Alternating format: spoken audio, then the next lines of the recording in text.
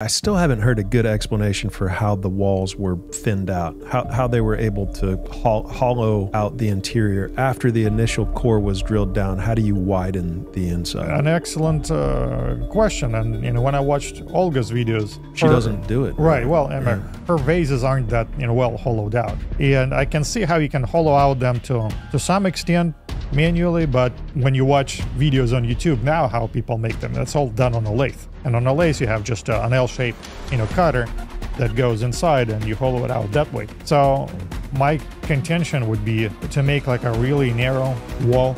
You know, you can do it on a lathe. Manually, it would be difficult. I don't want to say impossible because you know triple axel was impossible until it was done right i'd say it would be difficult once again everything is comparative and when we you know get get down to discussing you know my paper i will present my reasoning for why i don't think it was done manually